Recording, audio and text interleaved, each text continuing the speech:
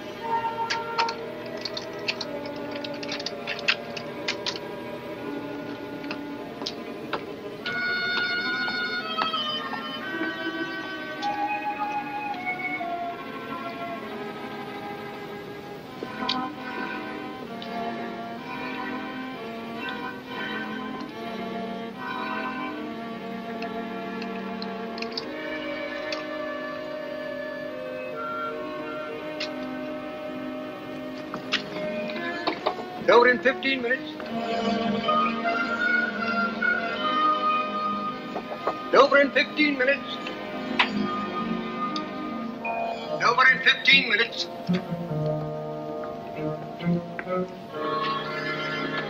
Over in 15 minutes. Over in 15 minutes.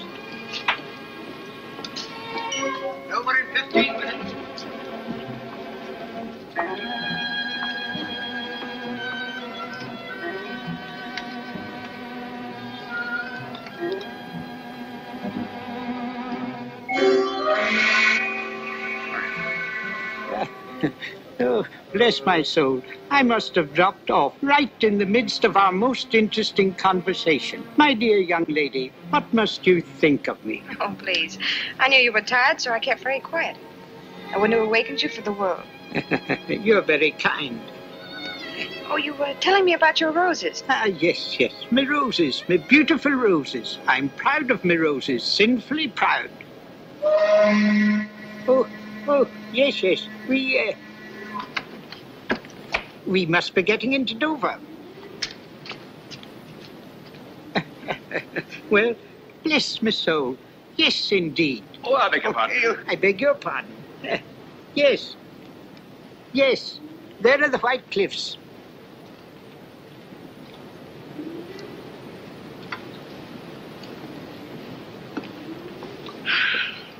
You know, I've been dreading this moment. Why now? Well, you see, I have some exposed film in my camera, and they might make me open it. The customs, I mean. I should so hate to lose my little pictures. Oh, dear, that's too bad. I wonder, it would be a great favor. Would you mind taking care of it for me? Till we get through the customs, I mean. Well, I, I don't quite know. Uh, Uh, uh, if you'll just say it's yours, uh, being a clergyman, you're not subject to such rigid inspection. all right. Just a harmless little deception, eh? all right, my dear, all right.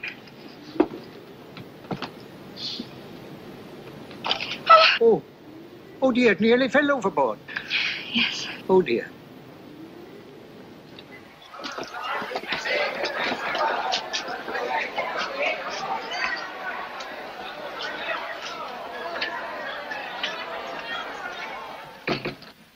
Are you courier for the Royal Museum? Right. Bringing in the Borgia pearl? That's it. I'll have it out for you in a jiffy. I say, that's a clever dodge. Needs to be for this, believe me. There you are.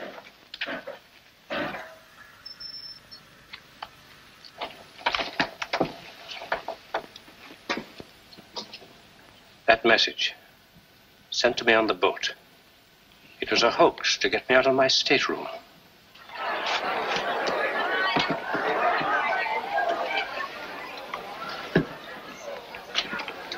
Oh, there you are.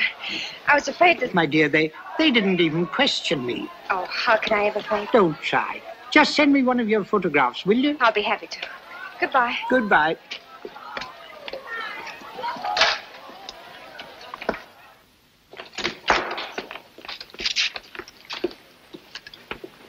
Why, Giles! Come on, get in. How many times must I caution you, my sweet, not to speak until doors are shut? Sorry, I didn't expect you to meet me. Oh, I couldn't deny myself that pleasure. Now, I mean, you're more beautiful than ever. I'm glad to be back. Yes, and we're glad to have you back. We? Oh, an old friend of yours turned up quite unexpectedly. He's been asking for you. Who's that? I found him prowling round your room, making wistful little noises like a dog.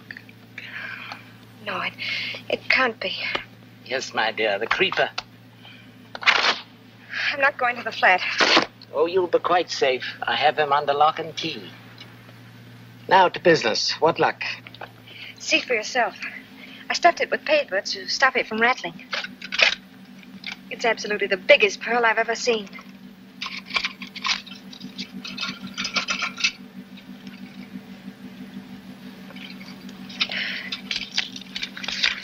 I don't understand. You've been had, my dear, properly had. My dear Conover, forgive me if I take the liberty of returning the Borgia pearl to its lawful owners. Devotedly, S.H. Sherlock Holmes of Baker Street.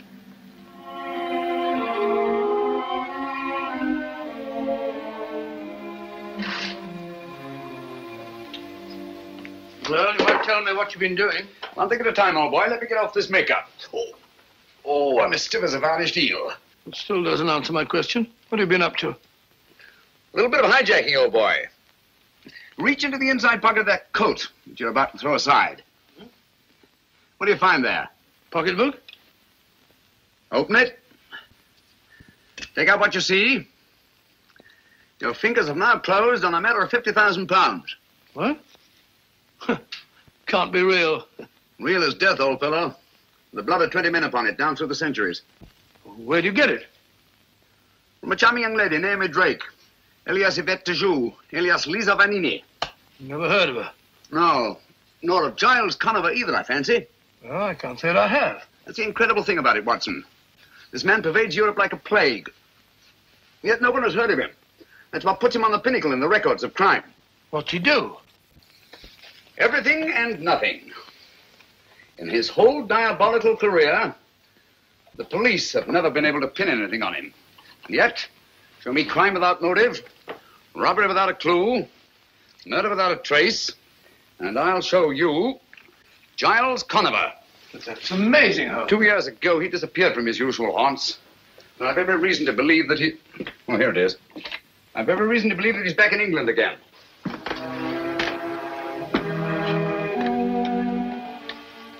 If a free society of this sinister creature, I should feel that my own career had reached its summit. Where is that stuff?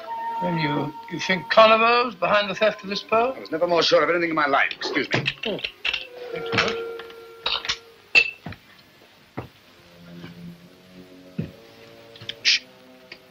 Listen.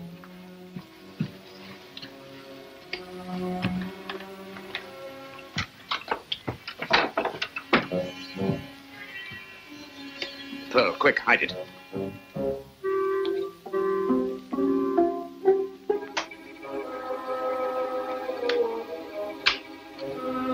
Turn out that light.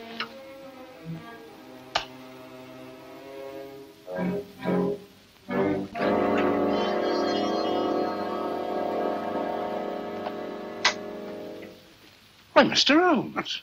My apologies, Lestrade. I was expecting Mr. Giles Conover. Come in, won't you? Good evening, Dr. Watson. Hmm? I take it Scotland Yard has been notified of the theft of the Borgia Pearl. Yes, but, uh, but... Give it to him, Watson. What? Well, I never.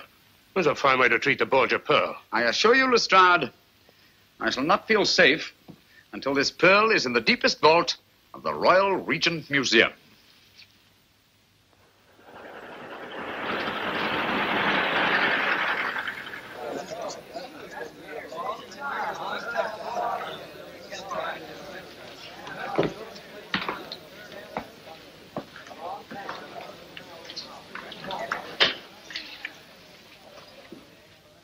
Don't mind telling you, Digby, I should be glad to see the last of your precious pearl. Precious is a feeble word, Holmes.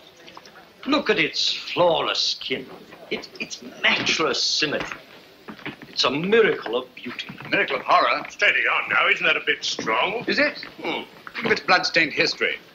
Think of all the misery it's brought to the poor wretches who lay greedy hands on it. Alexander Borgia died twisted and black with poison. Carlos of Spain became a dribbling madman. A disastrous duel, Digby.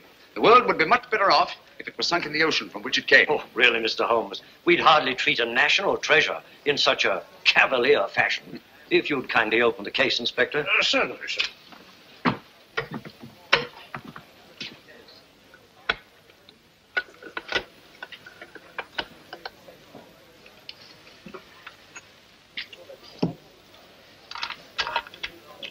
Ah, there, all snug and safe. You call that safe?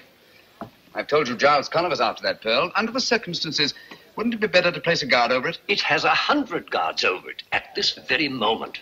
Well, my eyes must be failing me. I don't understand. What's to prevent anyone smashing the glass and pinching it? Would you like to try it, Dr. Watson? I certainly would. But don't bother smashing the glass. I'll uh, open it for you. Ah, there. Uh, help yourself.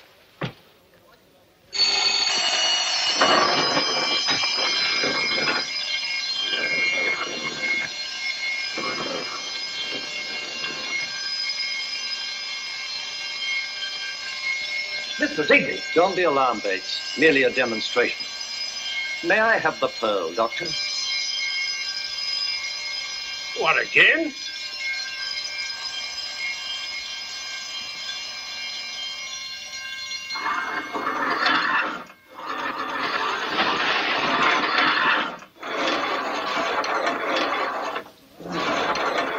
That allays your fears, I trust, Dr. Watson. If you'll step into my office, gentlemen, I'll explain to you what happened. Oh, how, how does the, the thing work? Electricity, the high priest of false security. As you have noticed, gentlemen, we are well protected. Every article in this museum is so placed that its removal creates a contact. Very ingenious. Uh, tell me, Digby, uh, just where in the building is the control of this uh, ingenious electrical safety device? The wires are in this room. Uh, uh, naturally, they're not exposed. Oh, no, naturally. Well, Watson, I think our usefulness here is ended. Goodbye, Digby. Goodbye, Mr. Holmes. It's been most interesting. Thank you very much. Goodbye, Mr. Digby. Goodbye, Doctor. Uh, oh, good day, Inspector. Good day, sir. Oh, I'm so sorry. Oh, there accidents will happen.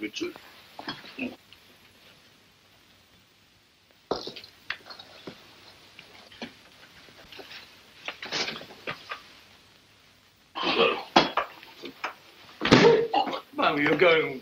I knew it.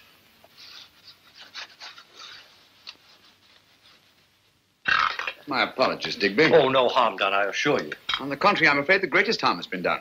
I beg your pardon. Are all the objects of art in this room uh, connected with your protective system? Well, most of them. But why?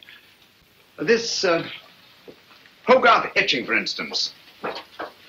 Is it connected? Most certainly. It's a priceless original. Uh, take it down, will you, Watson? Not me.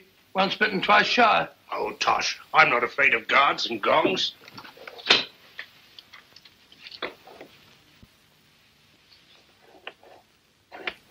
But, but, uh, I don't understand. Wh- wh- What's happened? Why don't the gongs ring? I'll tell you why. Because your whole elaborate system here isn't worth a brass farthing. But It all depends on three wires. Behind that strip of Chinese embroidery. Who told you? You told me yourself. You said the wires weren't exposed.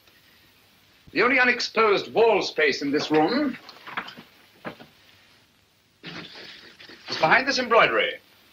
While you were picking up those ornaments, I disconnected these wires. Just to show you how absurdly easy it would be for anyone, far less ingenious and far less resourceful than Giles Conover, to do the same thing. Now, will you listen to me when I tell you to lock that pearl in the deepest, darkest vaults in all England?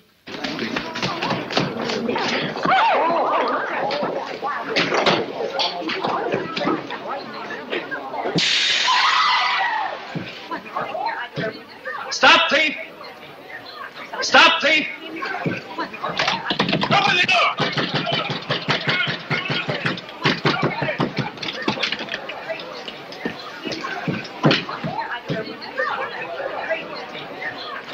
Gone! It's gone! A workman took it, sir. Bates is after him. I don't understand. The gongs never rang and the shutters never closed. No, the wires were disconnected. Thanks to Mr. Sherlock Holmes. A grateful nation owes you a memorial, Mr. Holmes. You demonstrated your cleverness. Oh, most brilliantly. You did put your foot in it, and no mistake, Mr. Nonsense. How was he to know that anyone... How? Oh, elementary, my dear Watson. By his deductive reasoning, of course. Oh, shut up, Lestrade. Deductive reason. Giving away the Borgia pearl like a pound of tea. Fifty thousand pounds. Not tea. What's this? The man who wanted to be caught, Mr. Giles Conover. How are you, Mr. Holmes? But I don't understand. This is one of our workmen. He's been employed here for weeks. He came highly recommended. Yes, I've no doubt of it. Every employee of this museum is scrupulously investigated. My investigated. dear Digby, Mr. Conover is a man of infinite resource and precaution. Oh, thank you, Mr. Holmes. Just a bare chance that his accomplice, Miss Naomi Drake, might not get away with that pearl on the boat from Ostend to Dover. Pearl? What pearl? Who are you getting at? Did you search him, Bates? Yes, Inspector, but there's not a thing on him. He, he might have swallowed it. No, he hasn't got it. Or he would never have allowed Bates to catch him. While he was running away, did he stop? Did he meet anybody? Why, yes, sir. As he went around the corner, he bumped into a woman. Did you get a good look at her? No, sir. Not good enough. Ah, that's where you lost your pearl. That woman was an accomplice. Same girl that was on the boat, eh? Possibly. In any event, may I suggest, Lestrade, that you hold Mr. Conover? Oh, come now, Mr. Holmes. Haven't you made enough mistakes for one day? It's no crime, you know, in taking a job in a museum. There's no crime in running when you're being chased. Just what am I being held for? Uh, window breaking? Thank you, Mr. Conover. Take him away, officer. How long can you hold him? Well, you heard what he said. Strictly speaking, we can't. One day? Two? Well, make it two. Good. Good, what's good about it? We don't want him, we want the pearl. That's just what I'm getting at, Watson. One of two things has happened. Either the woman he bumped into was an accomplice, in which case she has the pearl, or he managed somehow to conceal it in his flight. If he had to stick that pearl in some makeshift hiding place, he'll never rest until his Confederates have it safely in their hands. He'll try to send them a message. We ought to give him every opportunity. But how? Uh, may I suggest, Lestrade, that uh, he's permitted to uh, have his food sent in from the outside? Huh? Oh.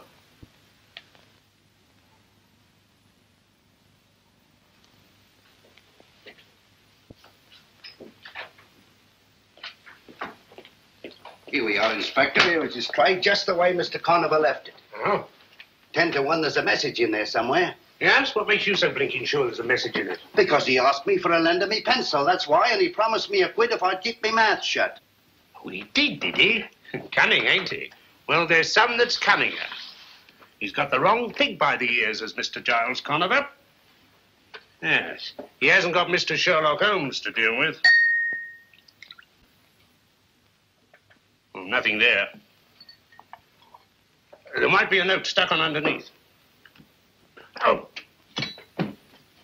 Seeing eye, that's what you've got to have. Nothing much gets by you, Inspector. Oh, we all slip up once in a while. No one's infallible, you know. That's funny.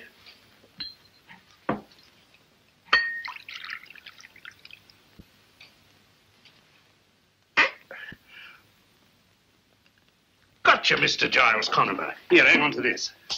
What is it? You'll soon see. A note to his accomplice, or I'm a Dutchman. Yes. Fancy me pulling Mr. Sherlock Holmes' chestnuts out of the fire. Here she comes.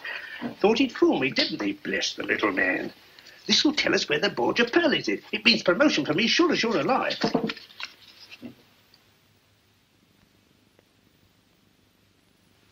What did it say? What do you care what it says? He didn't say where the Borgia Pearl was it, Inspector. Just you clear up this truck. That's all you've got to do, and see gets back to the restaurant. Very good, Inspector. Holmes and his theories.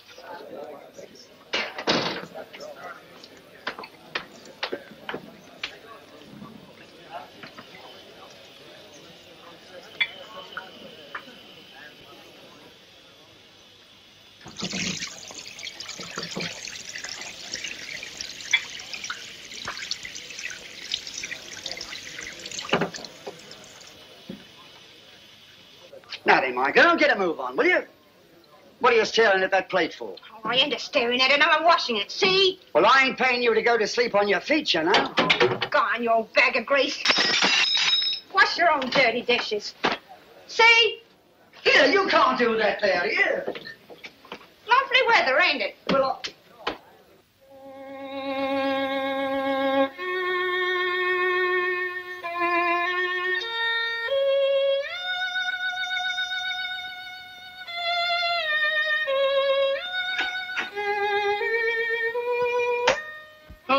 me raving mad. Standing there scraping on that filthy fiddle as if you hadn't got a care in the world. All the time your reputation's been dragged in the mud. My dear Watson, I really must caution you against hitting newspaper reporters in the teeth. It, uh, isn't dignified. Well, he deserved it, the idiot. But how did you know I struck a reporter? Observation, my dear fellow. You come in here with two copies of the morning paper. A thing you never do unless there's an article you wish to clip for your files. You talk about my reputation being dragged in the mud. Obviously, I've been the subject of a scurrilous attack in connection with the theft of the Borgia Pearl. You certainly have. This article practically suggests you stood to profit by the deal. It implies that you were working with Conover. Yes, I'm afraid I'm for it, Watson. Indeed you are. But uh, how did you know I struck the fellow? Oh, that. Well, you come in here, jumping off the handle at me, berating me like a mother who boxes her child's ears after snatching it from under a tram. A very human impulse, Watson, and one that suggests that you've been uh, taking up the cudgels on my behalf. What a remarkable deduction. Not when you consider that the skin is missing from the first and second knuckles of your right hand. Didn't hurt. Good old Watson. It's like you to stand by a man who's been discredited. Oh, rubbish. We've been in tighter spots than this. Not many, I'm afraid. Well, come along, old fellow. What have we here? Kippers. Kippers, splendid. I'm as hungry as a bee on a flower. Come in. Don't get up. I haven't got a minute. I've just popped in to tell you. I know. To tell me that you can't hold Conover any longer. In fact, you've already let him go. Never doubt. How did you know? Elementary, my dear Lestrade. You know as well as I do that you can't hold a man for more than 48 hours without bringing a charge against him. That's right. Have one, won't you? Thanks. Oh, I've gotta be off. Off to solve another baffling crime, I suppose? Oh, you might call it that, Doctor, but to me it's just another routine murder. Oh? Who is it? A bloke named Harker, military man. Harker. Horace Harker? That's right, you know. I've heard of him. Horace Harker. Yes, I remember him. He's a major in India. He's retired. Uh-huh. So he's been murdered, has he? That's right. And his back broke. Well, I gotta be off. Wait a minute. What did you say? Eddie's back broke. You know. Spine snapped. That's it. That's what? It's come at last, Watson. The thing we've been waiting for. Now, hold on, hold on. Keep your shirt on. There's no mystery about it. He- He must have fallen down in the struggle. That's all. Nonsense. Here's your coat, Watson. Oh, what is all We're this? giving Lestrade a hand. Oh, the Borgia Pearl. We can't Borgia afford... Pearl we're after. Come What? on, I Lestrade. don't want an hand. Borgia Pearl, we're out giving Lestrade a hand. And Lestrade... I'm coming. Give Lestrade a hand. Lestrade all day, all morning, noon, and night. We can't... This is exactly how you found him? Yes, sir. Nobody's touched him but the police surgeon. Back broken, eh? Snapped clean, sir. Died instantaneous, the doctor said. Mr. Lestrade, would you mind if Dr. Watson has a look at him? Not at all. Thank you. Watson, I'd like to know whether the break is cervical, thoracic, or lumbar. And I'll wager it's lumbar. Oh, tosh. Who found the body, Murdoch? She did, sir. His housekeeper. Oh. Said she came in to clear away his supper things and found him lying there. And that's the first and last word we've been able to get out of her. Oh, it is, is it? Well, I'll soon get a word out of her. Here, you. I shouldn't do that if I were you, Lestrade. Why not? The woman's suffering from shock. Close to catalepsy, if you ask me. Well, I ain't asking you, Mr. Holmes. Naturally. Get her out of here, Murdoch. Get her to an hospital. Can't you see he's suffering from cat- uh, from shock? Come on now. Nobody's going to hurt you.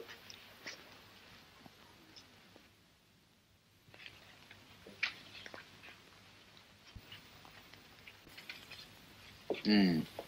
Major Harker seems to have thought very highly of Napoleon. He's rather overdone it. Hmm. I don't think much of that one. Where was the break, Watson?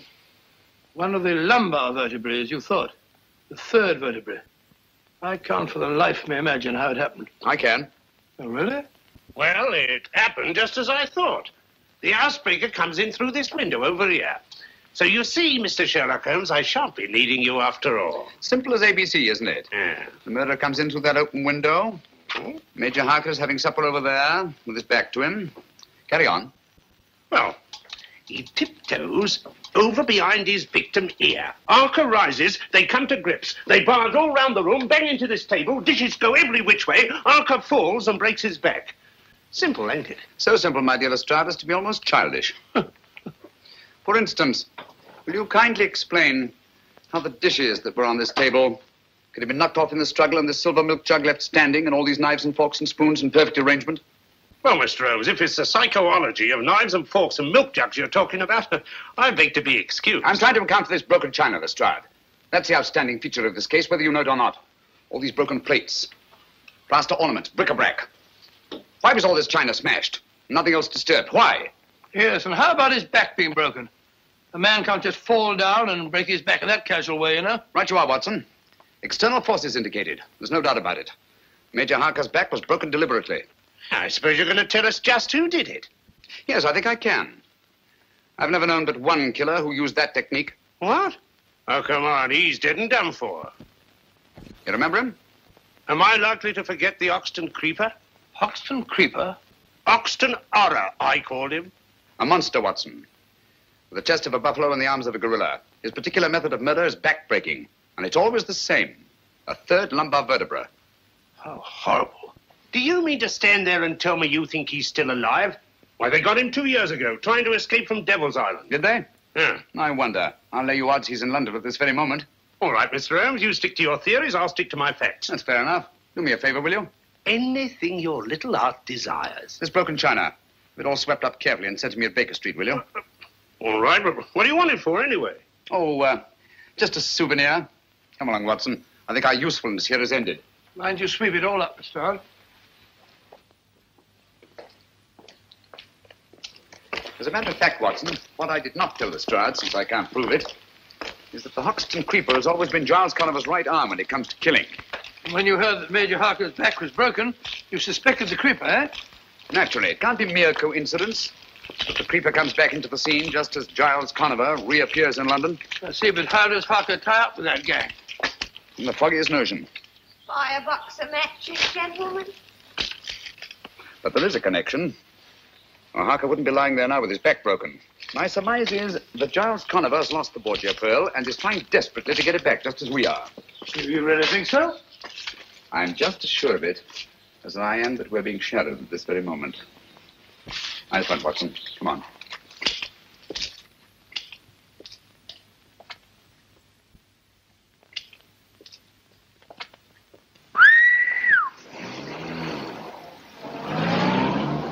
Listen. Have you got your revolver? Yes. Now get it ready. What? Hands up! No, thank you. Come on, Watson.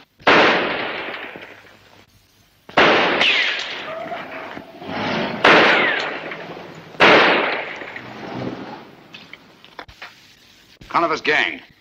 We're on the right track, Watson. Due primarily to the brilliant work of Inspector Lestrade. Brilliant work of Inspector Lestrade. Rubbish. Lestrade couldn't even see the stripes on a, on a zebra. Hello, housekeeper held. Arrested the housekeeper. Whoa! How could a little woman of that size break a man's back? Lestrade's an idiot. Well, what the dear public don't know, it. the dear public won't worry about. Mm.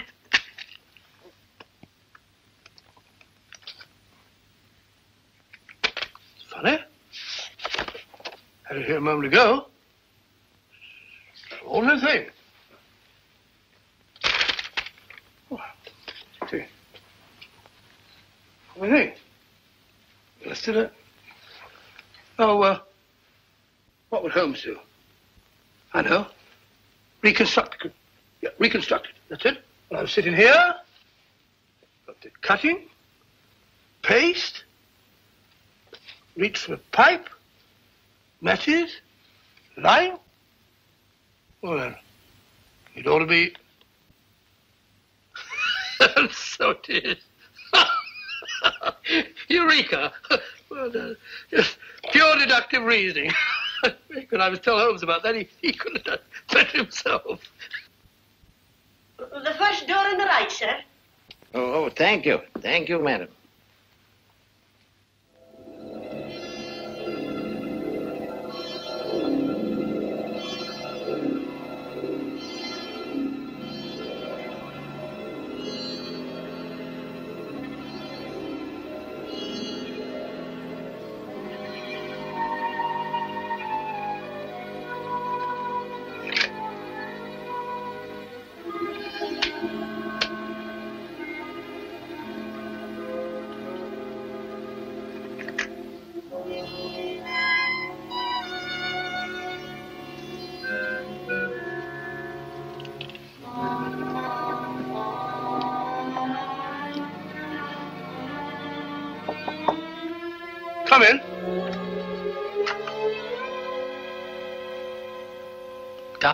Watson, I believe.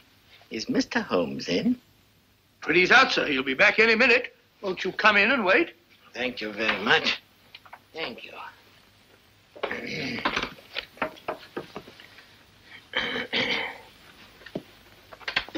Sit down, sir. Thank you. Have a cigarette. Uh, no, thank you, no. Uh, doctor won't allow me to smoke cigarettes. But, uh, may I? Yes, yes, sir. You'll find matches on the table. Oh, thank you very much. You know, my health has never been the same since that dreadful affair at Farnsworth Castle. Farnsworth Castle? Farnsworth case. I, I, I thought I recognized you. Uh, just a minute. I'll tell you who you are. Really? Yes, simple deduction. The bowed shoulders of the scholar, the open countenance of the churchman. You must be Lord Farnsworth's brother, Archdeacon Farnsworth. no, sir. I'm no archdeacon. Oh, uh, and you're the man who found the body in, in the bathtub. Oh, it, it was the butler who found the body, and uh, it was in the cupboard. Oh, uh, strangled, wasn't he? No, no shot. Oh, shot, yes, of course, shot, yes. Uh, Lord Farnsworth's uncle, wasn't it? I am Lord Farnsworth's uncle. Oh, of course, my mistake. You're Lord Farnsworth's uncle. Uh, uh, and your, your name is, um... Theophilus Kirby, Lord Farnsworth's uncle and biographer. Of course, I, I remember you well. I, uh, Holmes will be very glad to see you. He, he may be a bit late. Uh, by the way, as he isn't here, if there's, uh, if there's anything that I can do, same, same training as Holmes, pure deductive reasoning. For example, uh, I can see that, uh, that you're in trouble. On the contrary, sir, I've never been happier. Oh, my mistake. You've been happier. I've been looking for some little token of gratitude which I could give to Mr. Holmes. And at last, I think I've found something that he'll appreciate. It's Dr. Johnson's great dictionary, an early folio. Early folio, Dr. Johnson's dictionary. Sure that he'd be very excited about that. It's very kind of you. I- uh, I'm a bit of a, a book collector myself. Oh, no, please, please. I, I, I've inscribed a little dedication. It may be a little flowery, perhaps, but, well, it's straight from my heart to his, I hope. And uh, it's just a little private. Oh, yes, of course, it's private, and you want him to be the first to read it. Uh, that, that is so. You're very understanding, sir. Thank you very much. Now, I'm afraid I must go. I'm sorry. I Don't you worry about the book, sir. I give you my word that Sherlock Holmes will be the first person to, to open it. Oh, that makes me very happy, sir. Very happy. Uh, goodbye, sir. Bye, Doctor. I'm sorry you can't stay.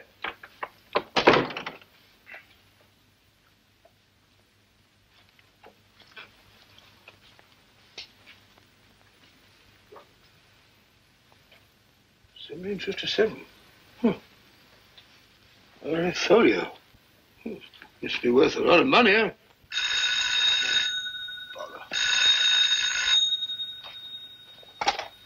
Huh? Who? Mrs. Pennyweather? Oh, no, Mrs. Pennyweather here. This is Dr. Watson. Mrs. Pennyweather. Wrong number, sir. Penny.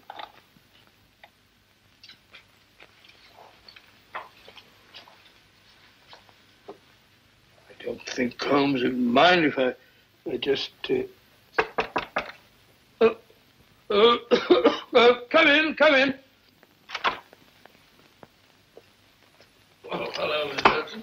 I brought you tea. And when Mr. Holmes comes in, see that he eats a bite like a good soul. Certainly, my dear. I'll be glad to. I had a hard time getting him to eat.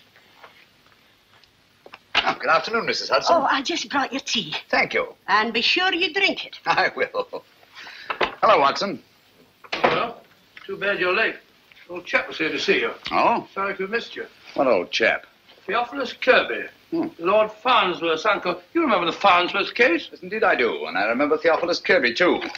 Quite a scholar. And like most scholars, full of church mouse. What's you want? He brought you a present. First folio of Dr. Johnson's dictionary. Book must be worth a lot of money. He he's written an inscription in it, bless his heart. Out of out of gratitude. That's very nice of him. Like to have a look at it? Have a cup of tea? Oh, thanks, old boy. Put it down there. Gratitude is a rare quality in these days. Let's see what he wrote. Watson, have you been smoking a cigar? No, the old boy smoked one.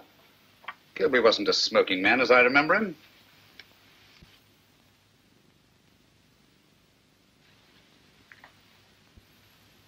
And even if he were, he wouldn't be smoking a Bolivar cabinet size, imported from Havana especially for connoisseurs. Well, if you're not sure of him, there are plenty of samples of his writing on the shelves over there. Why don't you compare them Don't with... touch that book. What? Give it to me.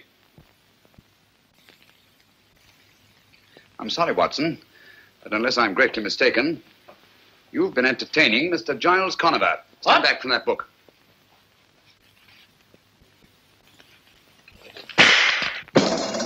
Great Scott! He meant that for you. Oh, that's very gratifying. Gratifying? Certainly. Conover wouldn't go to all this trouble to eliminate me if I weren't in his way. And obviously I am in his way because he hasn't yet found the Borgia pearl. And as long as he hasn't. All right, let me have it. Here. Right. Yes, yes. Hold Lestrade. Yes. What? Say that again. Don't touch a thing. No, not a thing. You understand? Right. We'll be with you. What is it, Holmes? Another murder. Little old lady. With her back broken. No. Yes. And in a litter of smashed china. That was exactly how I found my sister. There, there, there. Steady, my dear, steady. You live here, Miss Carey? No, Mr. Holmes. I teach history at a school in Cardiff. I came home today for the holidays. This card, Mr. Holmes. The very last thing she did. For my dear Ellen, to inspire her and her pupils with love. A gift for you. What was it, Miss Carey? I don't know. I'll never know now. I found it on the desk over there. She was writing it when. Oh, why do you stand there? Why don't you find the beast who committed this dreadful crime? Uh, look here, Miss Carey. There's just one question. There'll I- be quite enough questions. You come along with me, my dear. What you need is a sedative. I'll telephone for a nurse. There, there, my dear. You'll be quite all right. We... Pitiable. Poor little woman. Back broken, eh? Snap clean, sir. Same as Major Harker's. Yes. And once more, we find the body in a litter of smashed china. What do you make of that? Coincidence, I'd call it. Would you? Yeah. Curious, isn't it? Two murders at the opposite ends of London. People who couldn't conceivably have had anything in common, their backs broken, and smashed china around their bodies. Well, things do get smashed in the struggle, you know. Including the plates that uh, are hung in these wire racks on the walls. When a lady gets hysterical. She may do many desperate things, but my dear Lestrade, she does not run around the walls like a mouse. Oh. Those plates were taken down and smashed deliberately. And it was done after she was killed and not before. Is that another one of your little theories, Mr. Holmes? No, it's a fact. And easily demonstrable. If you lift up that body, I think you'll find there's not a vestige of broken china underneath. Well, just to prove you're wrong. Here, lend a hand here, Bleeker. Right, sir. Easy does it. There, right. What did I tell you? Look at that, Lestrade. That china was broken after her dead body was flung there on the floor. But why? Why was it done? Well, as I see it, we're dealing with a monomaniac. And after each and every one of these murders, he goes into a bestial fury and smashes things. But why bric-a-brac and nothing but bric-a-brac? Why should a murderer who is strong enough to break Major Harker's back vent his bestial fury by breaking up dinky little cups and saucers when he could just as easily break up a large chair or smash a big table? There's no accounting for the workings of the criminal mind. Oh, nonsense. He follows a pattern and there's purpose in it. Um, would you have those broken fragments collected and sent to me at Baker Street, please? Oh, what's the use? You won't find any fingerprints in them. Perhaps not. But broken china is the one thing these murders have in common. We've got to get to the heart of this mystery, and quickly, too. Don't you realize there's a monster at large in the city bent on destruction? We don't know why, we don't know where. But somewhere, at any moment.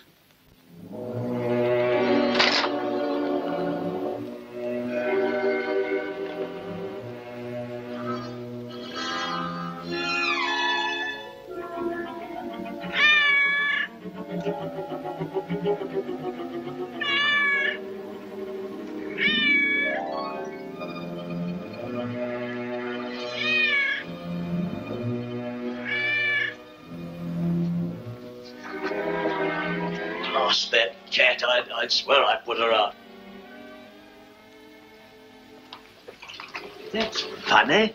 I'm sure I drew those library curtains.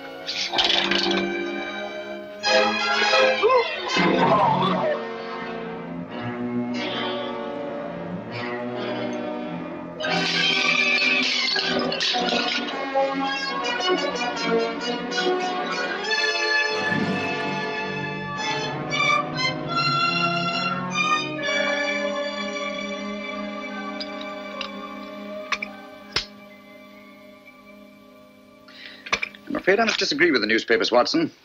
The Hoxton Creeper, to the best of my knowledge, is not a madman, or if he is, then there's method in his madness. And that method, I'm convinced, is supplied by Giles Conover. You think all this broken china is just a blind to make it look like the work of a madman? On the contrary, my dear fellow, this smashed china shows purpose, it shows motive. And purpose and motive are the last things a sane man would wish to imply if he were posing as a madman. Why smash the china? The killer didn't choose to smash the china, he had to smash it. Oh? Had to? What for? Oh, possibly to cover up something else that was smashed. Some object. Identical in all three cases. The clue that we're looking for. Why mess about with the plaster? You'll far more chance of finding the clue you're looking for in the china because there is much more china. There's too much china, Watson, and too little plaster. Which uh, leads me to suspect that the greater conceals the less, and the china was smashed to cover up the plaster. Curious notion. Oh, look. Bird. Matter of fact, I had thought of it myself. Oh, did you really? Then it was very tactful of you not to mention it. Yeah, what do you make of this? Cocked hat? Uh, soldier, eh? No doubt of it. Part of a bust. Military hat. Late 18th century, I should think. That's funny. Here we are in the second house. Here's a, a shoulder with a bit of a chest and, and a medal on it. Looks as if it might have come from the same bust. Mm-hmm. Identical. Same plaster, same proportion, same military subject. And this piece comes from the house of the second murder, while these pieces came from the house of the first. We're getting warmer, Watson. Wait a minute, wait a minute. I got something over here. Here we are. Look, here's a nose. There's a mouth and a bit of a chin from, from the third house. Put them under this hat. The little corporal himself. Right, Watson, Napoleon. A single statue made up of fragments from three different houses. Identical busts in each house, huh? Yes. Put the pieces down here. I told you this china was smashed to cover up something else. Well, why smash Napoleon? Think, Watson, think. Something was hidden in one of those busts. Something that Conover is looking for. You don't mean that... Precisely. The Borgia Pearl. But how did it get in the bust in the first place? That's what we're going to find out. We're going to get hold of that guard. The one that chased Conover down the street the day he stole the Borgia Pearl. Get your hat. I'll get a taxi. The hat I'll give it to you. Borgia pearl, Napoleon bust. I like driving about London looking at broken glass. Borgia pearl. Here we are, sir. This is where I nabbed him. He's baiting it along here like a frightened rabbit when I come up from behind and make the pinch. That isn't true. Would strike me dead if it ain't, sir. Isn't it true that he went in there? Well, he was trying, he was at... Oh, out with it, man. Did he or didn't he? Well, as a matter of fact, he did duck in there. But I made the pinch right on this very spot, like I said. Can you tell us exactly what happened? Why, yes, sir. He runs in here full lick and up to this door. Was the door open? Just like it is, sir. But when I got here from the head of the stairs, the door is bolted. So I starts to climb in this here window. Was the window open too? No, sir, I had to force it. When suddenly the door opens, out he nips, and I made the pinch right on that very spot like I told you. How long was Conover out of your sight? I should say less than a minute, Mr. Holmes. That's why I didn't want to mention it before. I didn't think it was important. Important? Great heavens, man. Come on. Oh, I beg your pardon. Gentlemen, this is not my sales room. This is my workshop. What can I... Oh, it is you, is it? Catching more thieves today? Ah, no, I was explaining here to, to Mr. Holmes and Dr. Watson. Uh, thank you, that I- Bates. That will be all. Thank you, sir. Good day, mate. Good day, sir. Mr. Gilder, our time is short, and believe me when I tell you that lives are at stake. Lives? Please answer my questions as briefly as possible. Last Tuesday, at 10 minutes past 12, where were the workmen who were usually employed in this room? It was a dinner hour. They were out. On this table over here? You had some busts of Napoleon standing to dry, did you not? Yes, I did, but how did you know? Never mind that now. How many were there? Six. Just like these busts of Beethoven. Six busts of Napoleon Bonaparte. Hmm. Six. Are you sure? No more, no less? Yes, I'm positive. Watson, look sharp, will you? Go to that door to the alley and do exactly as I tell you. Huh? No, not her. Just do it. Leave your stick. Think I am an alley cat? Go outside and close the door. Stand over there, will you? Me? Yes, please. Ready, Watson? Ready, Holmes? All right. Come in quickly. Close the door. Hold it. Turn round. Take two steps forward. Stop. Wait a moment. Look round you. Now look over here. Wait a minute. Now run over here. Pause a moment. Look at these wet plaster busts. Look back to the door. Take a coin out of your pocket. Come on, hurry, man, hurry. Now stick your finger in one of these wet plaster busts. Go on, go on, do it, do it. Put the coin in. Put it in, put it in. Now smooth over the plaster. Cover up the hole. Mad. Both of them. 54 seconds. That's close enough. Conover could have done it faster. But he acted on his own while you had to wait for instructions. You mean to say that... Precisely. Conover stuck that Borgia pearl in one of those six wet plaster busts of Napoleon. What? Gilder. Gilder, oh, what happened to those six busts? You are not the first one asking me that. No, who was the other? A woman? When? Was it Wednesday? The day after the thief was taken? Yes, it was. Naomi Drake, Watson. Naomi Drake? What did you tell her? The same as I'm telling you. They were delivered, all six of them. Yes, yes, but to whom? To Amos Hodder's art shop on Kensington Road. Amos Hodder.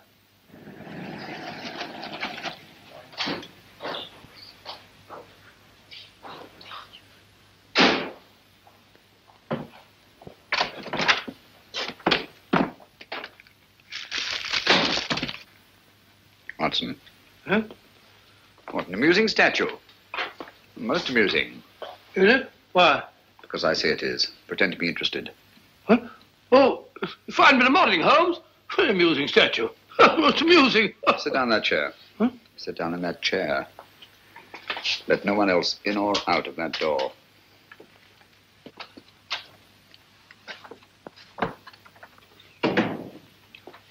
Attend to the gentleman, Miss Bittinger. Yes, Mr. Hodder.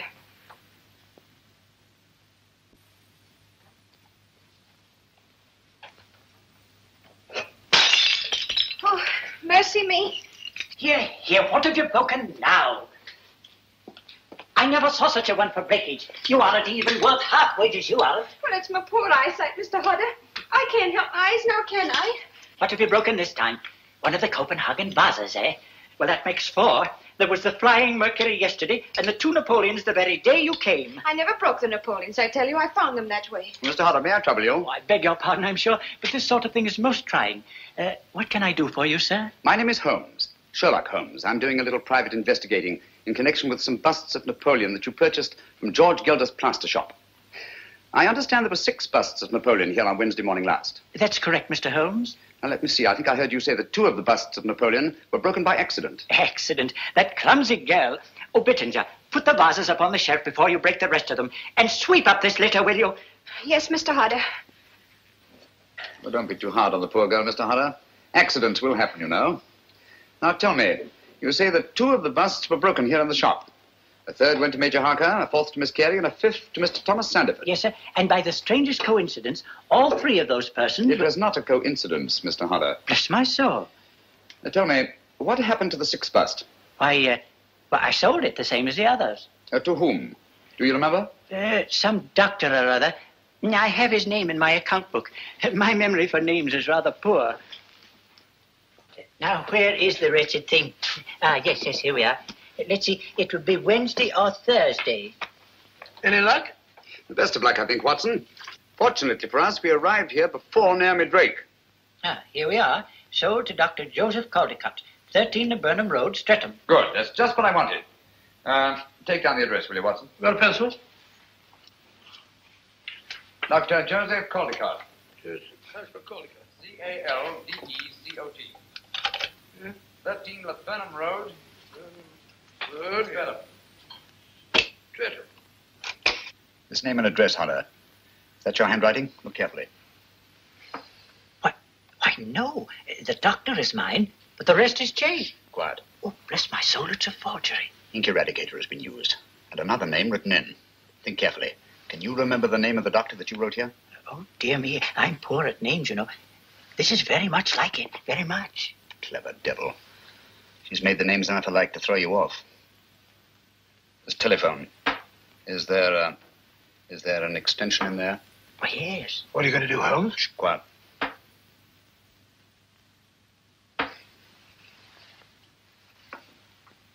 You were right, Giles. It worked. Like a charm. He'll be off to the wrong end of town presently. Yes, I'm leaving at once. Thanks, my dear. That's what I wanted to know. I shall start at once. Meet me in two hours. Same place, eh? Why, of course he's here. He's sitting right behind me. Then I shan't meet you. Not till you've got rid of him. Oh, nonsense, my dear. His devotion to you is most touching. But I tell you, I, I just can't stand having him near me. Giles. Giles. Yes, my dear. What is it? I thought you'd hung up. Oh, hardly, Naomi. I understand there's another doctor. Same name. Not listed in the directory.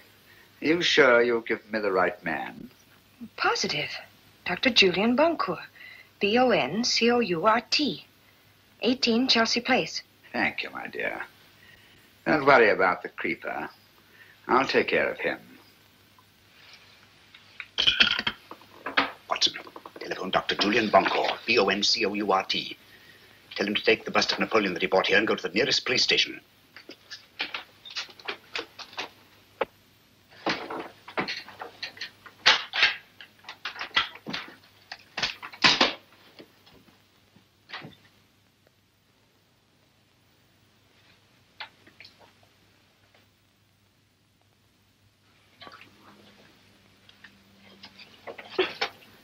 Just let go, Naomi.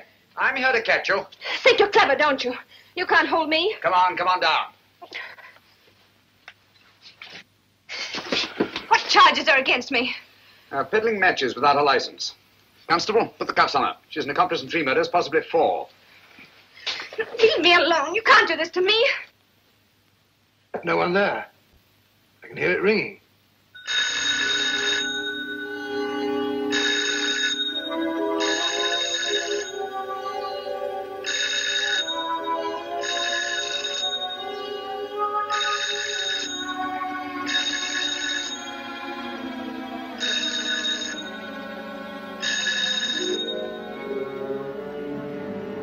Better drive slowly. I wouldn't like to get picked up with our passenger in the back. Oh, it's pretty quiet back there. What's he up to?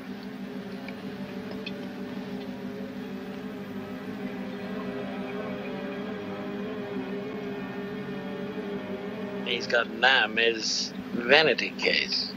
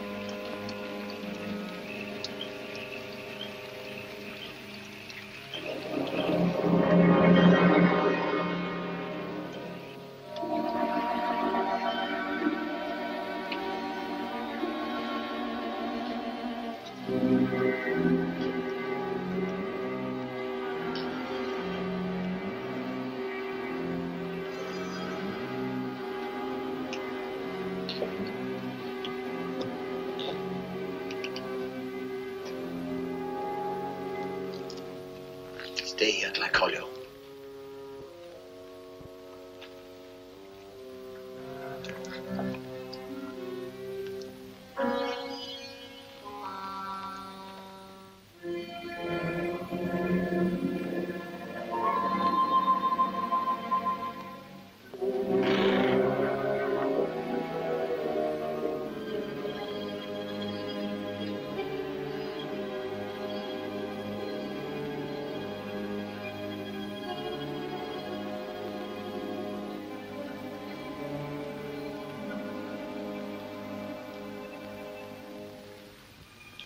Dr. Boncourt, Yes, yes. What you want? Don't you see I'm busy? I shan't keep you very long. I've only come to ask. How did you get in here? Who are you? I'm also a very busy man. Doctor, I understand you bought a bust of Napoleon a few days ago. I should like to look at it. What are you talking about? Will you get out of here, please? Or must I call the police? Stay away from that telephone, you old fool. Where's that bust? Unfortunately, it is broken. Broken? Yes, you will uh, find the pieces over there. In the container.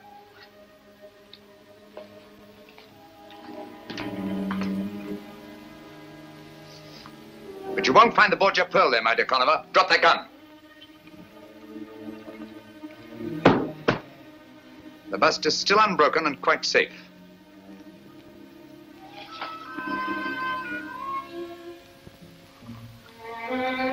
You're still full of your little surprises, Mr. Holmes.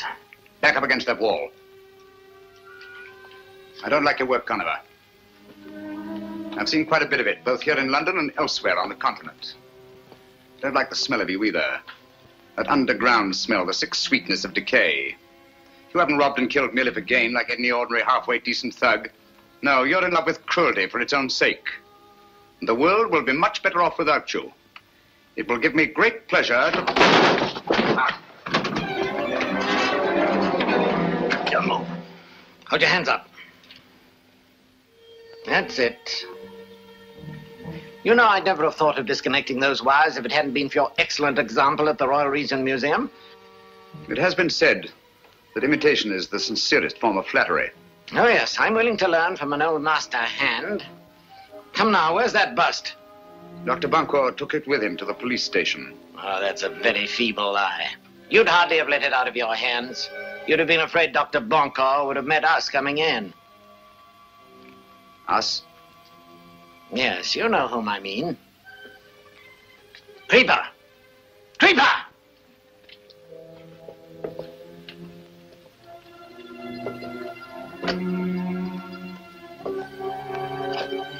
Stay where you are.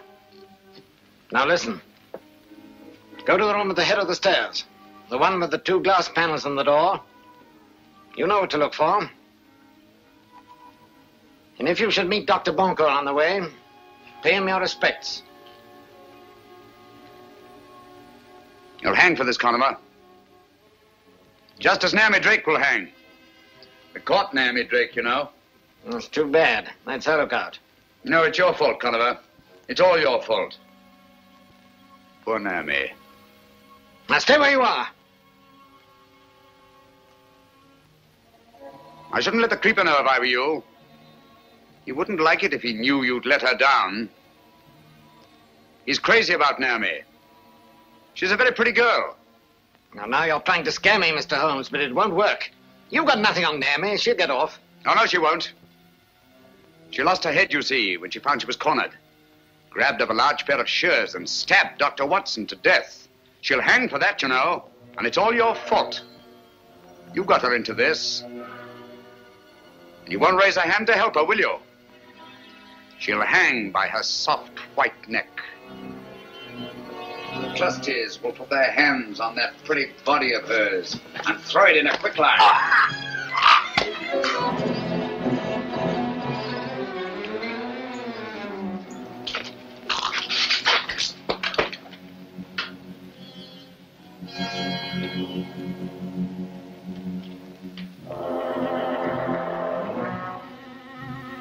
Stay back.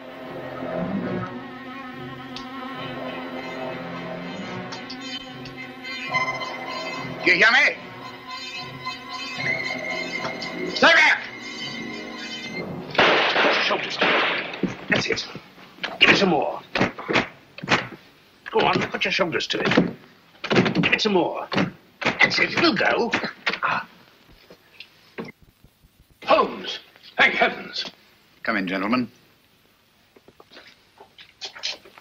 But uh, where's Boncourt? He's quite safe. Lestrade, send one of your men upstairs, will you? Uh-huh. Tell Dr. Boncourt that all is well. Gently, though. He's old and his heart is weak. I see. That's why I didn't dare send him out of the house. He's up there. All right, up you go. You see, if he'd run into Conover and the Creeper. Conover and who? The Creeper, my dear Lestrade. That you said didn't exist anymore. Where is he? You'll find him in the laboratory. Conover, too. Go on. You won't need your revolver. No handcuffs. Oh.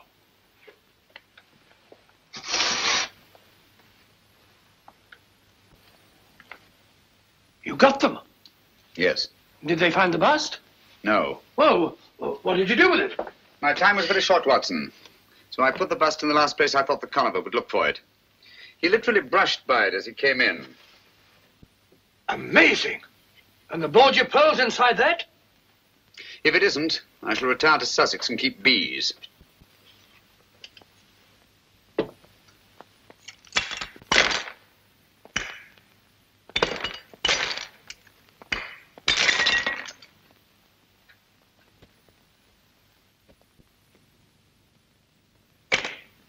Look, there it is.